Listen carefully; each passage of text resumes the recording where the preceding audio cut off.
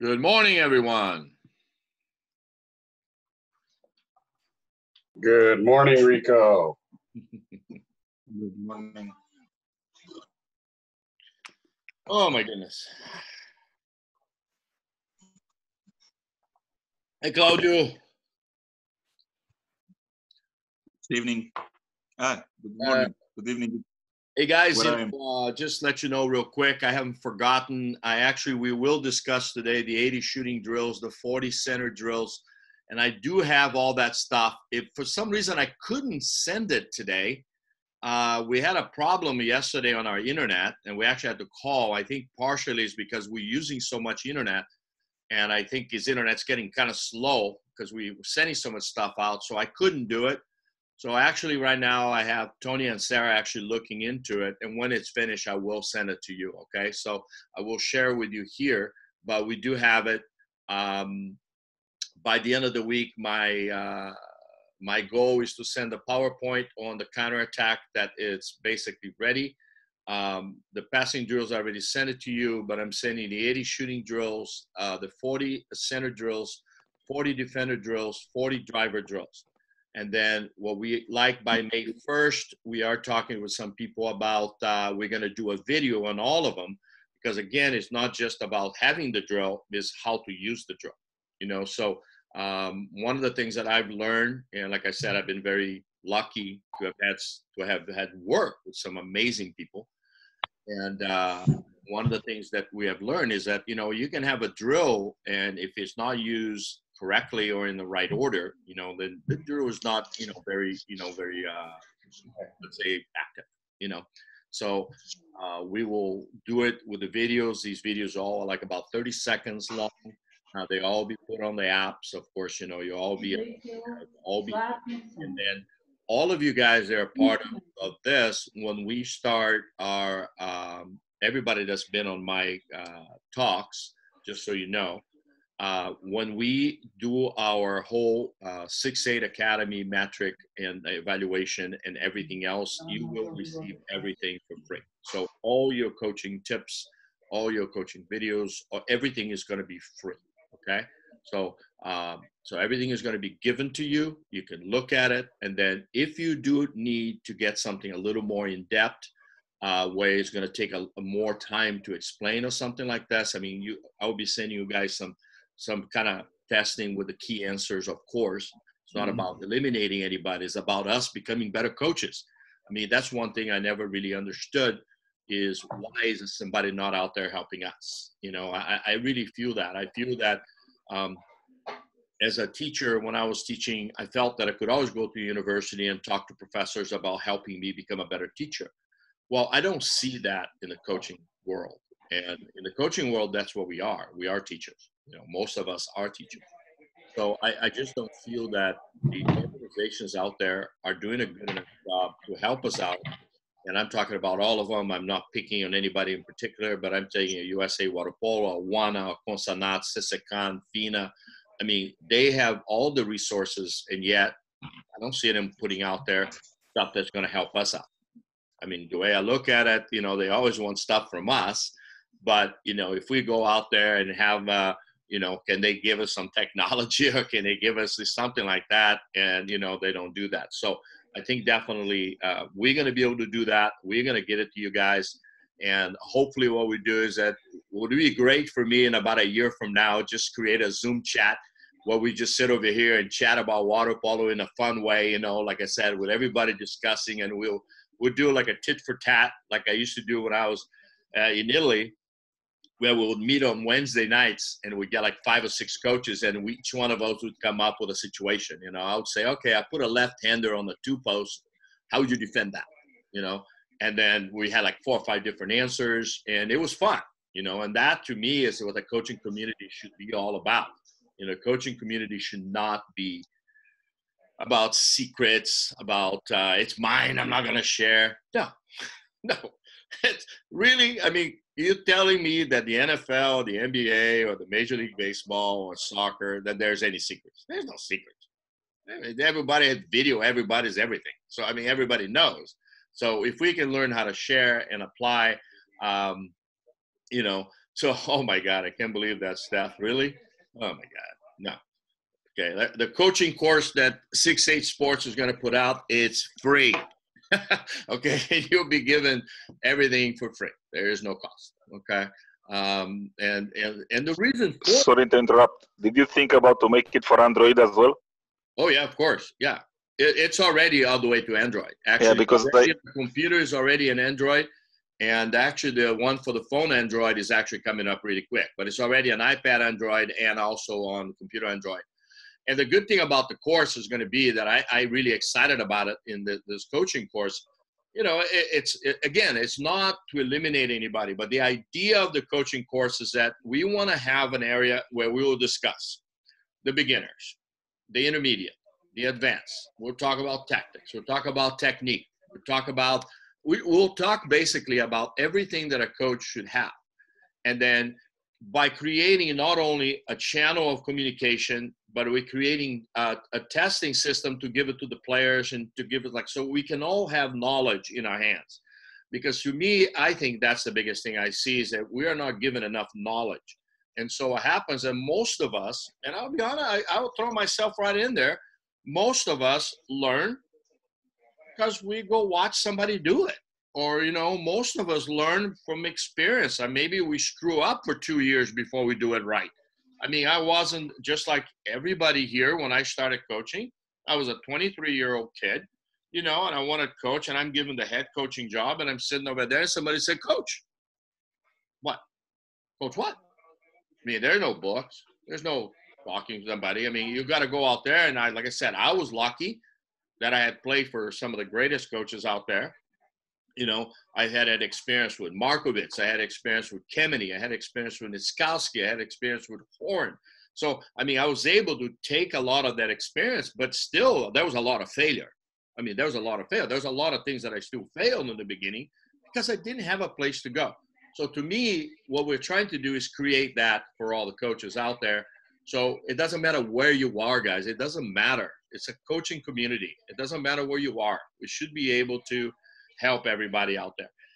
So continue with the training part of thing. One of the things that I wanted to do today is to talk about, you know, the programming and, and really how we're going to use this training. Uh, and then I will show you some of the other things that we have done. Um, you know, one thing that, that have always bothered me, and and I did a lot of research, and you guys can do your own research, and you're going to find out maybe even more than I did that the programs where the coaches, and I'm talking, I'm not talking water polo. I was talking, in, I, I, did some research with like football, NFL, soccer, hockey, you know, and what I found is that the programs where the coach was really more of a teacher, kind of like uh, Dean Smith, a Krzyzewski, Bill Walsh, when the when the guy was more of a teacher doing practice instead of a coach doing practice, that team was more successful. I thought, well, that's interesting because I consider myself a coach, but am I a coach doing training and game, or am I a teacher doing training and coach doing game? And I know that's something kind of out there, because you have to kind of think about it. But if you actually look at the American Language Dictionary, you will find out that coach is defined as an experienced person guiding someone to achieve his or her goal. That's what a coach is decided as. I mean, if you think about it, that's what a coach is. A coach basically takes a group of people and he's going to try to get that people to achieve a goal. That's a coach. So to me, that's what we do in a game. To me, that's definitely what we do in a game. Come into the game, we're going to take this team and we're going to have, we're going to try to achieve a win. That's coaching. What about teaching?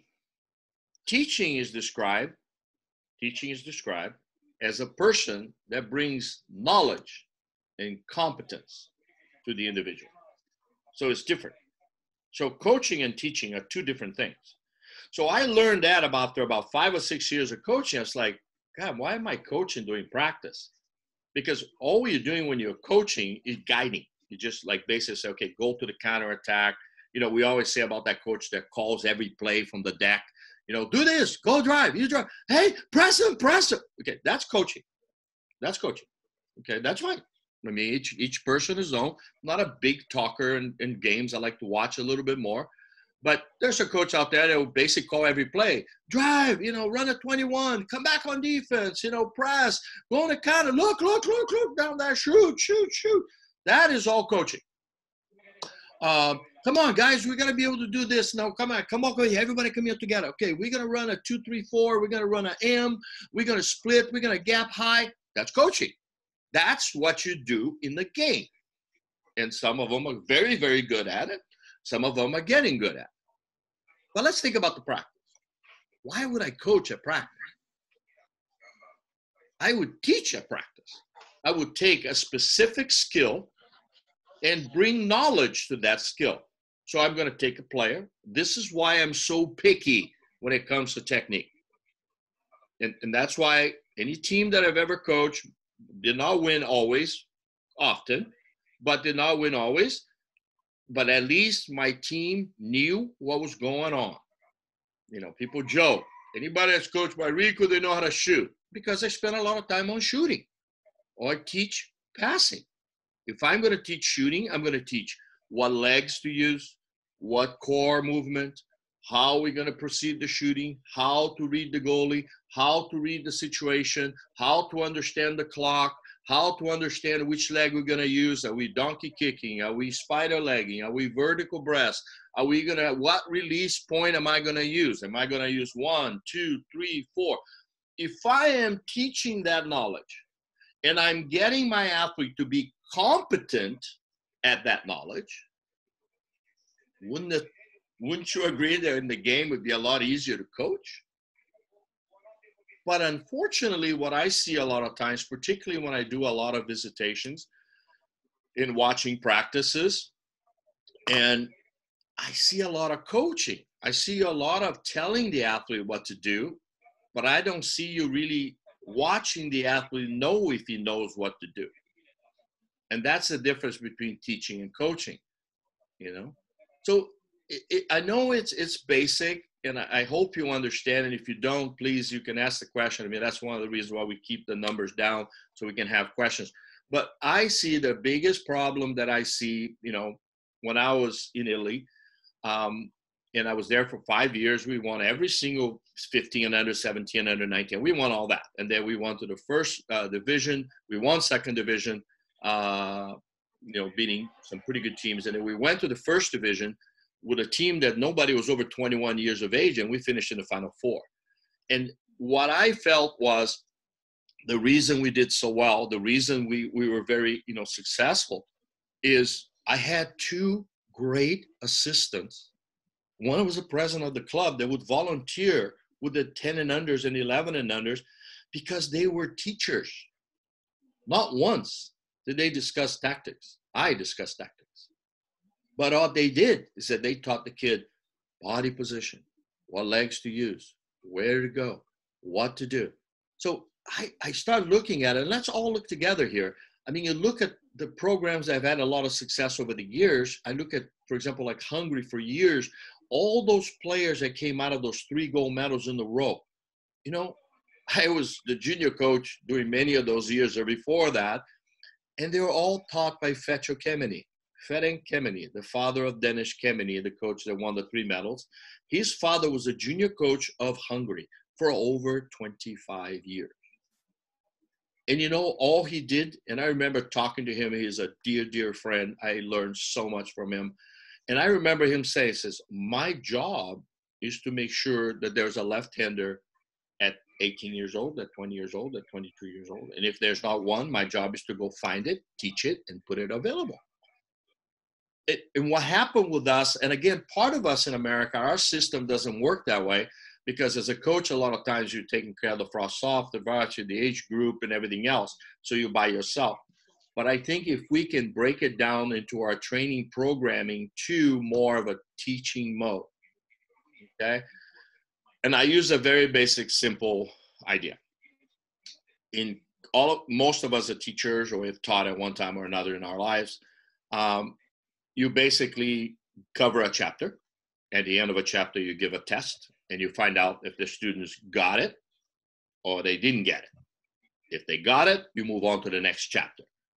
If 90% of the class got it and 10% didn't, you give the extra work for the 10%.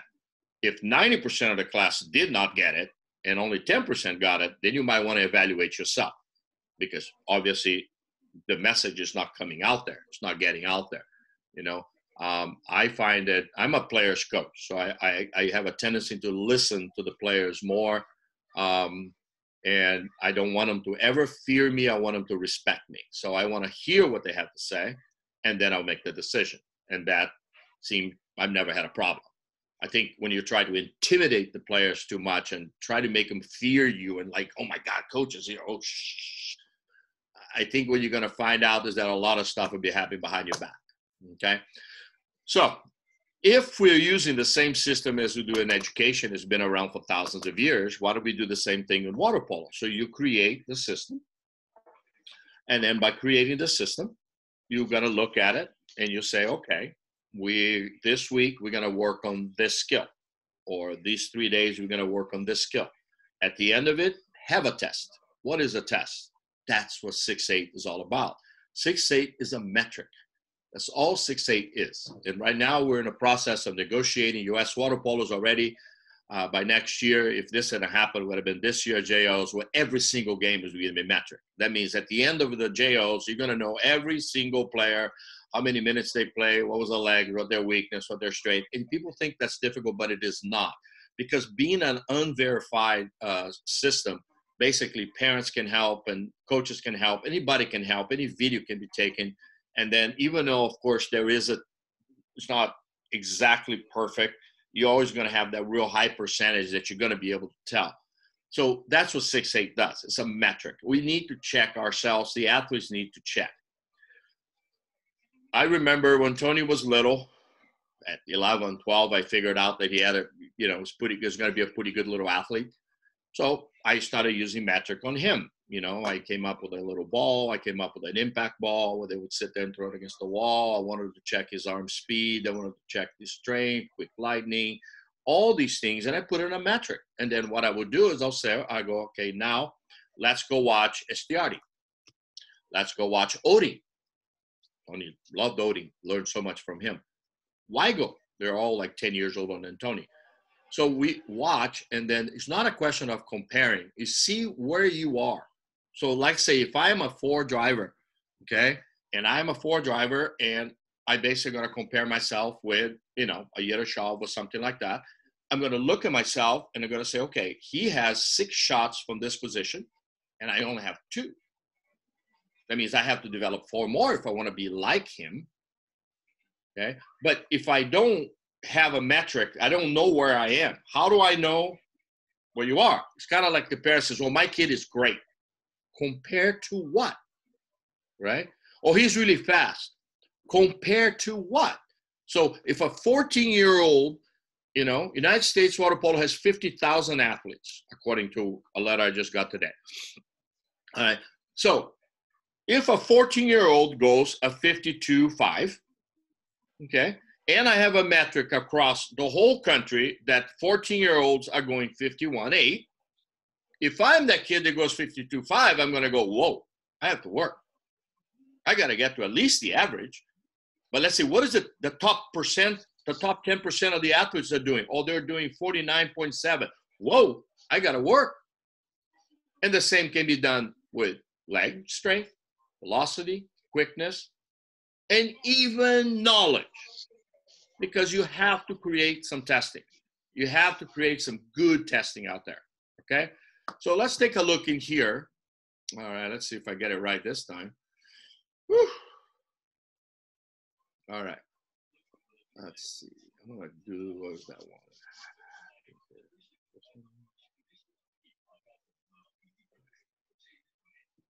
All right. So if I am shooting, for example, right? So I, I'm looking, this is what you guys going to receive it, so you don't need to copy it, but you're going to get all this stuff, you know? And of course, right now we're up to about 27, I think, on videos.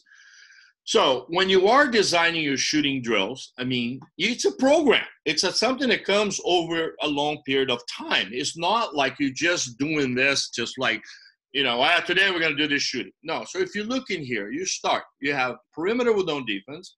You have the defense still perimeter. That's 50% of the game. It is in the perimeter. You're going to position and special situation and then you got the game like setup. So let's just take in the middle here. Let's just go. If you look at them, they all have series. There's perimeter series. There's passing from the center, passing for four-two drives, and then shots. And then you go to the perimeter with the defense. This is my favorite part. This is what I spend the majority of my time is in this area right here. Okay, but and when I say soft, and these are things, of course, you guys can ask. And when I'm finished here, you guys can ask anything you want. Um, if you look in here, you know, I, when I say soft means the drill is for the offense. If I say the offense is soft, the, diff, the, the drill is for the defense. So develop your own terminology with your athletes to make sure that your athletes understand what is expected of them. Okay we go into position special situations. We have animals, we have centers, you know, insides. And then let's go back in here for a second and talk about this. So when you look at your planning, when you're programming your planning, I mean, first of all, what what are we looking at? I mean, are we looking? We talked briefly about that, but let's go more into details here. Um, and so, if, if you are looking at a training, okay, you have the year. Okay, you can't think of it as 12 months. Nobody can. You can't say, well, we're going to train all year. No, that's not true. Nobody trains all year. Nobody trains all year. Nobody can train 12 months out of the year. You have rest, you have the weekends, you know, you have Sundays. I mean, you think about it right off the bat. Right off the bat, you got four Sundays in every month. So right off the bat, you got 50 days that you don't work out because they're Sundays. That's 50 days of Sundays. So right off the bat, you, if your year is 360 days around there, if you take 50 out of them, that means, all right, 13% of the time you're already resting. That's why sometimes resting is overrated. Okay, I prefer recovery than rest, personally. Okay, because sport, in a sense, supposed to be a fun thing. So you can actually recover. You don't have necessarily just to have to go home and sleep, because that's not resting either, by. you know so let, let's let's talk about the program. So what is your program? You want to go three four month basis or you want to go four three months basis? You want to go two six months basis? That, that doesn't matter. This is what's called a cycle. What is a cycle? A cycle is you determine however your cycle is. And this is what i'm saying. I like to empower our coaches. You know i mean i don't i, don't, I hate dictatorship. I think we all more we talk together better we all going to become so let's just say if I have three, four month cycles, that just means what? I got four months of fall season, four months of spring season, four months of summer. Okay. Does that work for high schools? Sure. Because you have the four months of high school season, right? And then you got another four months, they usually swim season, and then you got the four months of the summer. Of course, it can be three and a half, you know. I mean, come on, let's not get into let's not get into the real, you know, that's that's stupid. All right. Or you have a four three month season. Four three month season will be maybe um, summer's a little smaller, and you have the preseason, season, postseason, summer. There are some programs that will do that. There's nothing wrong with that, you know. So you can basically use, let's say, May, June, July. Okay, is an example. May, June, July as a preseason kind of workout. You don't really call it, you know, um, summer, right? Uh, and then you have like the end of July, August, and September. It's kind of like your summer, and then you got a season, and then you got your postseason. So there are some people that do that, particularly in other states. Not all of us have the same season, right? I mean, there are some the season on the fall, but there's places in the United States that the season is on the spring. Okay. If you look at it, for example, Australia, Steph is on the call. I mean, their summer is different than our summer. So obviously their seasons are the opposite of our seasons, and they have to go ahead and, and, and, and change and have championships in a different way. I know one, one of the, the things that I don't know if you guys been following up, but one of the big discussions going in a moment, big, big discussions going in a moment, is are we going to maintain the international season as it is? I mean, I have a call tomorrow, you know, to discuss some of those things with. Actually, there was an email this morning that I, I don't know if I want to answer that yet, but there's a lot of talk about moving the international season to the winter and allowing the summer season to be more for competition because it was that way in the 60s. In the 60s and the 70s, most of the championships were in the summer. So if you went to Europe in the 60s, for example, or in Brazil or whatever, it doesn't matter, you played a lot of summer ball, right? So, you know, the weather was hot, the outdoor pools, so everybody played in the summer. It was a great sport. I mean, come on, water polo is a, no matter no matter how you look at it, it's a great sport to be outside. You know, um, so but then with you know before there was only Olympic game, guys. Remember the first World Championship was not until 1973. People forget that. You know, particularly people that a lot of you guys are young. But you got to understand, before 1973, they were in the World Championships. The first one was in Belgrade, 1973. That's the first one. There weren't even Pan American Games before 1950. So, it, you know, it might seem like a, lo- a long time ago, but it isn't. It's actually fairly new. So there's a lot of these things that have been happening. So what happened is when a lot of these championships, you know, it, when a lot of these championships are starting to come in, I mean, let, let's look together here, guys, and let's look together just in the last 20 years because we're thinking about 2000 now if I go back to the 80s and 90s when I first started coaching internationally, you had an Olympic Games every four years, you had a World Championships every four years. Okay, those are the only ones. You had a FINA Cup that was right before the Olympics. It was always in a place where the Olympics going to be, basically to check to see if everything was okay. That's what it was. That's all you had. And then they introduced the junior, World Juniors. Okay, that's it. One, one. There were no women in the Olympics. And until the 90s or late 70s, when the women got in, they played the World Championship, but there was no women in the World Championships. In the I'm sorry, in the Olympic Games. So you had what four or five championships, and then let's go to the continent, right? So if you're in the Americas, you had a South America Championship, a CCCAN Championship, and you had a, a, a Pan Am. If you're in Europe, you had a European Championship. If you're in Oceania, you had basically the old famous, you know, New Zealand Australia game. You know, the best out of three. I mean, no, th- th- this is the things you got to start thinking about. That's the way it was. Now let's talk about the last few years. We went to two world championships in four years. We still have the Olympics. We added the World League that is every year. Okay, four plus two world championships, right? Plus the Olympics. You're already at seven. And then you have World Juniors, Youth World Youth Championships, and now we have 60 and under World Championship. So yeah, Junior. Four, that's 10. Now all of it is men and women, that's 20. Then you have FINA Cup, that's 21. And now, because it's the whole world, you have all the qualifications that we got to put in there. So now you got to put in the Intercontinental qualify for the World League, the World League finals, and then you got to qualify for the Pan Am. So you have to have the South American, then you got to have, you know, the qualifications for the Youth Championship. The last time I counted, honestly, is over 40, over 40 championships. Where do we put it? Where do we put it?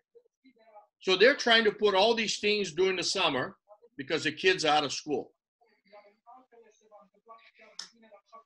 Makes it very hard to program, doesn't it? Makes it very hard for you to program your year. So I personally like the three, four month season. You know, coming back to where we were, just I get fired up about this stuff sometimes, and I'm sorry about that. But you know, I, let's go back to a three, four month season. So I got the cycle of four month season. So four month season gives me 12 weeks, 122 days, and it's going to break it down to if I took the Sundays away, I got 18 days in all of them, you know, and every every three weeks I got 18 days of work, you know, six days a week. Uh, it doesn't mean that 30 minutes a day is considered a work day. So even if I don't want to train on Saturday, but if I put something, the guys have to watch a video on Saturday. You know, high school guys, you know, we for many years, you know, John, I mean, we've got a lot of coaches over here that I've coached against, you know, great, you know, uh, uh, colleagues of mine we couldn't train on the weekends. The high school did not permit. But what I used to do at Wilson, I knew that we couldn't train over the weekends and stuff. I would say, okay, go watch video. They can do that. They can watch video on the weekend. They're, um, they're not having to come to school. They can watch video. I can send them home a little research paper on explain the counterattack, explain what defense we're going to run against Foothill or defense we're going to run against El Toro, whatever. Doesn't matter. I mean, that's to me, that's great workout. So my players, they were pretty knowledgeable. I mean, one of the things about the guys coming out of there that we are pretty knowledgeable. So maybe we weren't even as good as far as as biggest guys that we had those Orange County giant guys, and we go in there with a smaller guy, but our guy was smart. You know, so you can use the training that way. So I break it down. There's 122 days. I break it down into six 18 day cycles, little cycles. So there's the macro cycle and micro cycles, right? So if I do it every third, every 18 days, that gives me a great planning technique. Now, those 18 days, you got to also see what is your hour rate. Oh, I mean, so you got 18 days. Are we working out twice? Are you working out two hours? You got 36 hours. Right? 18, 36. You got three hours. You got four hours. You got two a day. You got one hour. You can break that down. And once you do that and you put it on a spreadsheet, you plan your whole workout and it's not as hard as you think. You're not as hard as you think. Because again, let's go back to that share screen again. And if I go in here and I look in here like this from the screen, I can go ahead, somebody's microphone is on. Uh, I can go ahead in here and basically I have 80 to choose from. Look, I got 80, 80 were 80 shooting drills, and that's not all of them, by the way, guys. You know, that's the first one I'm sending out there. You know, you're gonna get quite a few of these sheets. Uh, so I can go to here says, okay, I'm gonna take uh, four from here, three from here, two from here, one from here. These 10 drills we're gonna work during our 18 day series. And at the end of that 18 day series, I'm gonna put them to a metric system, just like 6-8 does that's going to tell me how is he doing when the guy passes from four, driving from two in a drive pass. If I throw 20 passes to that guy right here, number 26. So he drives, the pass is coming from four, right? And the guy's driving from two and he's going to get a drive pass. He's going to do this for three weeks. I want to see how he's doing. I mean, is he dropping the ball? Is he learning how to read the goalie? How's his legs positioned? Is he spider legging? Is he egg beatering? I mean, is the ball too far behind? How is the passer? Is the passer anticipating? Are they timing the pass? Is the pass too long? Uh, do I put a defense right in front of it so they has to throw over the defense? Do I put the defense on the other side where he has to get away from the defense? So you take one drill, one, 26 right here, number 26. Take one drill, and I can make it an amazing three weeks of workout with that one drill. But I tell you that, I believe, you know, going through high schools, I mean, I remember when people say, oh, you graduated Cochran, and then comes Adam, and then comes Tony, and then comes Hale, and then comes, because it doesn't matter. As long as you are teaching, the new players will come. I mean, the bottom line is that I am teaching them how to drive. So I'm going to make sure that you are the best four. You're going to be the best two driver out there. So I'm going to teach you everything there is to drive. Once I get that one down, I'm going to go to the wet one. Okay? And then I'm going to go to a fake and move. Right? So again, if we're looking at these things, if we're looking at every shooting drill and how we're building our team, it, it's really not as hard as you think. Well, we just have to stick with it. Okay? And the technique is there. And I mean, when we talk about spending a lot of time on it, I like I said, I remember when I wrote the workouts. I mean, I just basically believe in you don't need to do 30 minutes of the same thing. Our mind don't get it. Sorry, it won't. If you ask me to do 30 minutes of the same thing, I'm going to tell you to go, you know, someplace. I want to do three or four minutes of intense work because that's something else we do. We do a lot of this kind of hay in the barn, you know. But no, I want you to be exhausted when you're finishing a three minute drill. Three minute drill. I want you exhausted. Four minute drill, five minute drill, at the most, maybe a six. And then move, change. So you can choose, you know, 40 minutes of drills on a specific work that you're doing. So if you're working on driving, you probably are working on def- on offense, right? If you're working on you know soft defense, you're probably working on tactics. You know, so if you're working on hard defense, you're probably working on individual team training. Because if I want, you know, I don't know if you guys like football, but if you take a football, a lot of times they have that drill where they go offensive lineman and defensive lineman, right? And I remember watching that, and sometimes they go all out. But there are sometimes where they say defense go soft, offense go hard. Sometimes they go the other way around to see the moves, to see if they are doing the right technique, right? I mean, they even have one technique that they call for us, you know, that swimming move on the lineman, right? The swimming move is the one they get under the lineman, you know, to try to get them to hold, right? So those are the things that we want to do. So then when we go back here, let's go share again. When we go back here to, I think it's over here. Is that this one? Nope. That's this one. Uh, no, no, no, no, no. So when we go back in here and we're doing our training and we're writing everything down, when we go this part over here, because that's what we are right now. You know, I haven't even got to the team technique yet. You know, we are right here. So as you could, as you can see, you know, altogether, the most I'm ever going to spend is 42 minutes. There's 9, 12, 15, 18, 21 minutes, but I got 42 minutes. But if I do 42 minutes times six times, that gives me a lot of hours of training a specific skill. So if I do this with this week here, we're going to work on that drive from two and four. We're going to work on maybe the center post up. Uh, we're going to do, uh, you know, uh, let's say on the mo- the movement horizontal, maybe a little bit of driving from the wings, you know, and maybe at the end here we're going to do when we can get the drive going, maybe we can get a six meter shot. You know, so I can do that in all these situations and then change according to what I have down here that when I'm game plan, I'm going to be working against someone. If I'm concentrating on defense, defense is going to be hard, offense is soft. When I concentrate on counterattack, less drills on the perimeter, more drills of movement. If I go in offense the other way around, defense is going to go soft. And of course, when you're doing to tactics, here's that who are we're going to play and what is our greatest strength. Because that is something that we also don't do sometimes. And uh, that, you know, it can be, okay, I think it's right here. I want to take a look at this one right here.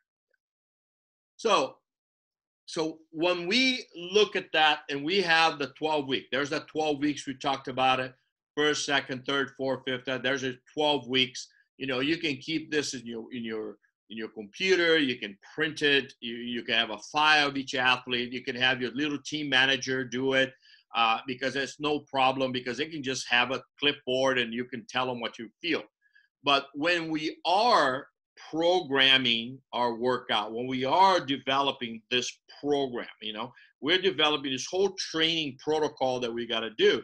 We have to evaluate. So at the end of the first week, you know, each athlete, you know, uh, and you go into it, and it, it seems like a time consuming, but it is not because a lot of times you make that decision in your head.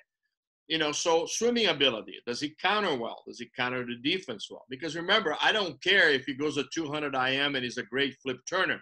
That's not what I care about. I care is does he know how to use his speed on the counter? Right? Is he quick on the drives? When he is driving, right? I mean, does he get himself open? And then I can check also the swimming training. Then I go to leg conditioning, right? I mean, he's really good at jumping. Man, coach, he has great legs. He goes jump way high. What about stealing the ball when he's moving forward? Can he push an opponent? Can he hold a position? Right? Swivel legs. I mean, is he spider legged? That means he can feel very comfortable going anywhere. I'm not going to read each one of them. You guys already received this one. If you have not, just put a note in there and I'll send it to you. But you go passing and catching. All of the all the things you're doing passing and catching shooting and blocking, all the outside shooting, inside shooting, six meter shooting, shooting off the drive, penalty shooting, six meter blocking, center position blocking, blocking on the outside. Then you go to attendance. You got to know that. You know, we got to know that. You got to know that. Uh, you know, you got to know that that you know the guy gets sick a lot. He's always hurt. Or he doesn't come. He doesn't. You know, he doesn't take care of himself. I understand injury. I don't understand sickness. If you take care of yourself, you won't be sick. If you eat well, and you know, and so I used to always tell the players, and because I do this, I used to just go back, you know, 30 years ago, I was saying that. Very rarely I had guys miss practice because if they miss practice, that means that they would have to do an extra day or they would have to do an extra practice themselves. I would not let him make up the practice during the time he with everybody else. Okay, he needs to do it on his own. All right. So very few people did that. Uh, you got counter attack, of course, front court offense, four on defense, six on five, weights and dry land, and game performance. Then you have an overall rating. So it seems like a lot. It is not. It is not. I mean, honestly, I did it. I did it in Brazil with the junior team and the youth team and the senior team. I did it in China. I did it with my guys in Italy, and a lot of times it wouldn't take me more than about a half an hour, because all I'm doing is sitting over there, and if I'm watching, again, remember I'm teaching. Remember, I'm not coaching. I'm teaching. And if I'm just sitting over there and going like he does that, I just put a check mark, check mark, plus, minus. Each one of you come up with your own system, right? You can go double pluses, double minuses, plus minuses, slash. You don't have to write anything. And then once you do that, you're starting to see a little bit of a map of what you have. What what do your athletes have? You also see by going from week to week if there's any development on that part of the athlete. Because again, we are programming, right? So let's just say I decided to go in three cycles of four months or 12 weeks. Have the players graduated to the next cycle?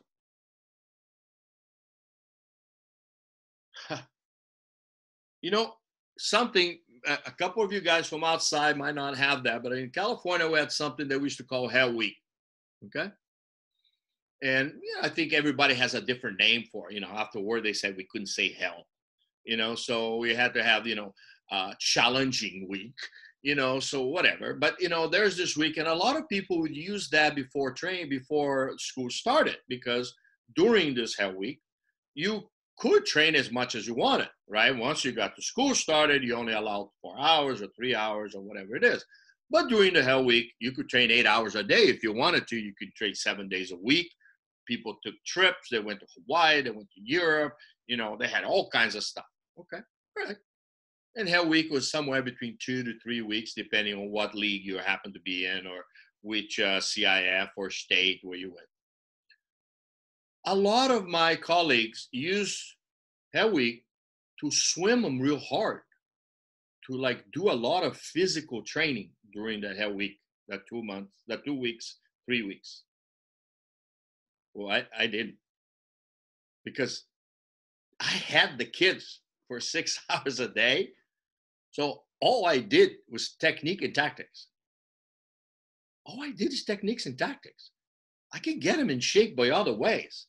I can get him in shape in the first couple weeks of the season. Seriously? But wait a minute. So I have a chance to during Hell Week spend six hours on six on five. Guys, all of you guys out there, colleagues, when during a season do you have six hours to spend on six on five? You do not. You got to be worrying. You got to preparing for the game. You got a tournament Thursday, Friday, Saturday, or you got a game away on Tuesday and Wednesday or you, you know finals is this week and the kids have to cannot you can't keep them in a pool more than two hours right uh, if you have an outdoor pool it's cold whatever there's always a reason why you can't do something but during that two weeks or three weeks my goodness so what i used to do okay what i used to do uh, i remember you know a great coach from the past named don stoll a lot of respect for him and he used to say, if you're going to beat Rico's team, you got to do it early in the season, you know, because I came in, I would have to say, I did not start the season in great shape. I did. But I tell you what, I had my offense down, my counter down, my defense down, my six on five down, my five man defense down, my special play down. I had all that down. I mean, they were perfect on that. And then two, three weeks down the line, they would be in great shape. So you have an option you do the same thing. You have to you have your cycle. Anybody does their own cycle. It's up to you. How you do it, it's your problem. Okay? So if you don't have that, if, if you don't if you want to have your cycle of four months where your first three week cycle concentrates more in technique because you know that maybe you're not going to really hit the tough teams until a little bit further down the line. Example, you're going to the Olympic Games, all right? I got a Serbia on this side, and I got New Zealand on this side. Okay, Serbia, tremendous experience. All the players are coming out of professional leagues. They're really set, and they are actually going to play for the medal. New Zealand, very good upcoming team, great young players. The coach is doing a good job trying to bring them along. But their big games are probably going to be early. They have to try to win to try to get out of their bracket. The Serbia has to worry about that.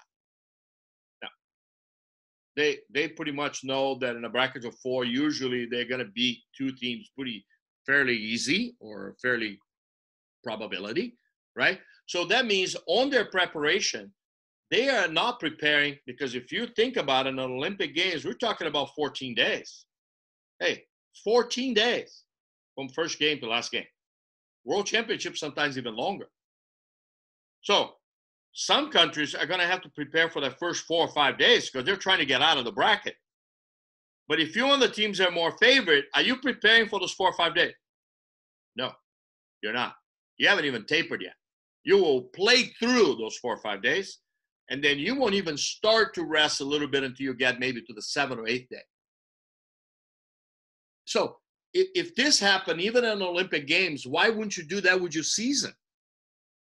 You know, so this is what I'm saying about understanding how to develop the training program. We have to understand how we design our training program and make sure we give our athletes a chance to succeed. Okay.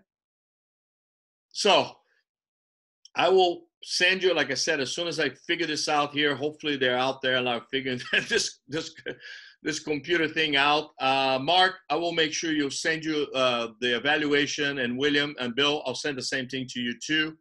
Um, those, those ones that you haven't got it, you know, anybody haven't got it. So, Bill, I got you. Um, I got that. And then uh, let's see, Beth, you didn't get that one either. So, Beth, I'll send that one to you also. Okay. Um, and let's if you have any questions right now let's you know you, i know you didn't get it but it will receive your shooting it will receive your center drills and when you do that if it's something quick you know i can answer if not you know try to set up something to talk with me about it then we can talk with just you and i in a different time all right so claudio you too okay jimmy you didn't get that okay all right good good all right uh, if you have any questions now is the time unmute yourself like i said i don't i don't mind if you want to ask. Um, understand, really try to understand a lot about what we talked about the soft versus the hard. Make sure you always have an emphasis on your training. You know, be smart. The, if, if the athletes respect the coach because he, the coach has knowledge and competence, you're going to get more out of your team. You know, don't just say, do it because I told you so. Okay. That, that is not a good way to approach an athlete you know, it's best way to for an athlete is you do it. You say, hey, you know, the last couple games you notice that the percentage of us shooting in this position is not very good. You keep dropping, you know, the ball a little bit. You know, be knowledgeable about how you talk to that athlete. That also creates a mutual respect. I also, I always believe in respect. You know, so I don't need to yell and scream and foul language. I just don't believe in that. You know, but I can pretty much destroy a player just by giving him facts. Okay, but he leaves there going, "Coach is right." But Sorry, Rico. What to do? Yeah. So this question: You talk about doing your drill for three or four minutes. Um, do you then, if the kids don't get it, do you break and change to a short drill and then come back to the same for three or four minutes in order to keep their focus up? And how many times would you repeat that three or four minute session um, that's actually a great question because that's that's something that happens a lot. And so usually what I do when I introduce, I usually try to introduce the drill before training, so they know already what we're going to do. And then once we are doing the training, usually about a minute to a minute and a half afterwards, I will usually make a comment if he needs it or not. Because the reason I find is that I need to back the go back to concentration and execution. So let's just say we're doing an accordion drill where they're basically, you know, Yugoslavian square, where they're moving forward and back, constantly using donkey kick and forward step. You know, So let's say, even though they're doing it right, I might say, no, no, no, stay posture. Don't forget, get it out, get the ball up, keep your elbows high. Constantly talk to keep their focus on it. If I see that they're not getting it, if it's one person, it's different. If it's one person, I would usually say, not negatively, because I don't believe in that. The person that's doing wrong, I'm going to say, now take a look at Jimmy. Look how he's doing it. And that usually brings the concentration to the athlete and you eliminate that problem. Okay. So you, you bring it in. If I see that they're really not doing something like that, I might go ahead and go, okay, guys, let's go this way. Let's break it down from the Yugoslavian square into just two man drills and go in and out, in and out faster. So I might modify the drill within the same philosophy, but I modify it for three minutes and then move on to something else. And then sometimes that fixes itself. You know, if yeah. it really is not working, I might abandon that drill a little bit, go to something else, and then revisit it maybe the next day with a further explanation. Because yep. I had to ask you a question. Yep. Right. Thanks. Somebody else? Yes. Uh, I don't know if you can hear me. I can hear you. Okay.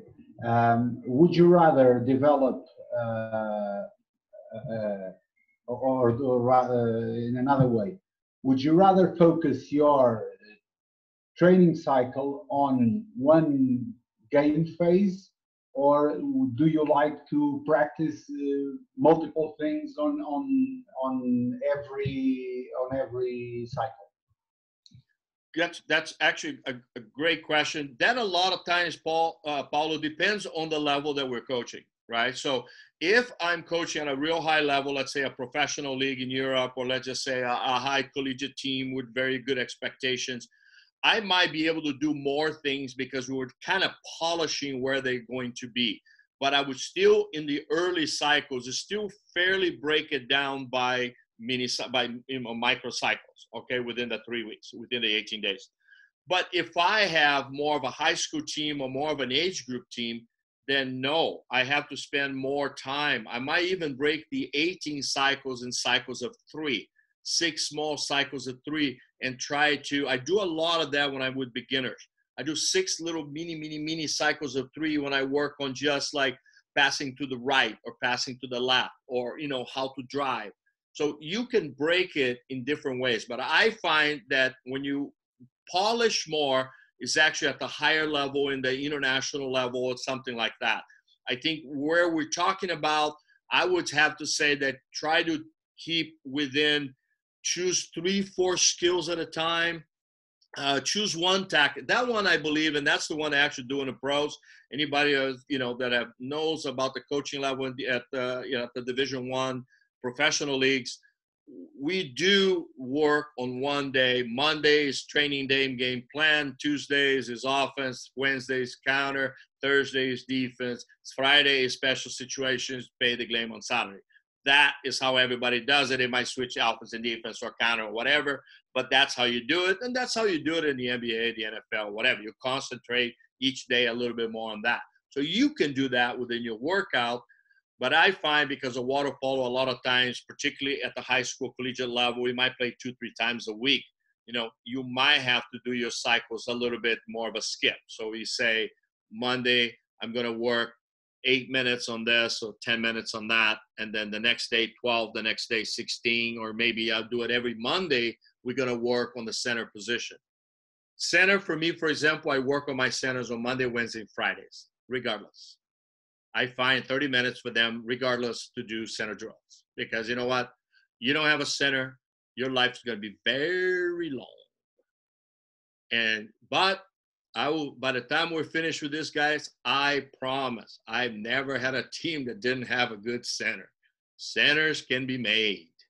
Okay. You don't have to have gigantic guys either. Right. I mean, hey, Spain got a gold medal with a center that was five foot 10. Jordi Sans. Seriously? And you know what? Nobody could get him out of position. so trust me, we're going to get there. We have time for one more question. Anybody? Water polo rules. It's always so good. I have a question, actually. Go, go, go, go. Akane. Sorry. Um, my question is, um, would it be possible for us to talk about ways to um, modify drills so that they can do it on land during the social distancing time when pools aren't open? Oh, absolutely. Most of the drills that we are putting together that I had it there, we Mhm. do have a modified drill to it. Okay. Oh, okay. You know, we do have a modified drill to it. So if you guys want, because you know we're still having a lot of this stuff, but actually it's good no matter what. Um, if you want me to, we can go next week, uh, next uh, Thursday. Um, I, I- can add maybe a, a 15 minute segment on just modifying these drills and how to do that, and do it at land, in, on land with bands and trash cans and stools. it's really, it's actually there's a lot of things you can use, and it works really well. I actually just did one of them yesterday with my granddaughter just to see if it works, and she kicked my butt. So she's three years old, but man, she tires me out. So I will do that, Akari. No problem. I'll make sure. I'll do that. Thank I'll you put so it on much. the next Thursday. Thank you. All right. Love you guys. Water polo rules. And I'll, don't worry about it. We'll be coming. Thanks, Rico. Cheers, man. right. Thanks, Rico. All right, man. See ya.